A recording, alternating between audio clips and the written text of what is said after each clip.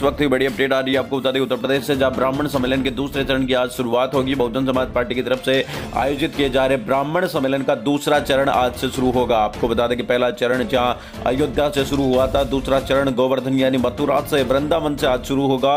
ब्राह्मण समाज को संबोधित करेंगे पार्टी के राष्ट्रीय महासचिव सतीश चंद्र मिश्रा।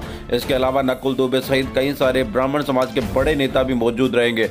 और आपको बताने की कोशिश करें तो कई सारे बड़े नेताओं के बीएसपी में शामिल होने की भी खबर सामने आ रही है। गोवर्धन, में आपको बता दें कि बहुजन समाज पार्टी का सम्मेलन आज है। यूपी की सियासत से बड़ी अपडेट हम आपको बता रहे हैं। पार्टी के राज्यसभा सांसद और महासचिव सतीश चंद्र मिश्रा इस बैठक में शिरकत करेंगे। वो आपको बता दें कि उपस्थित जन समुदाय को संबोधित भी करेंगे।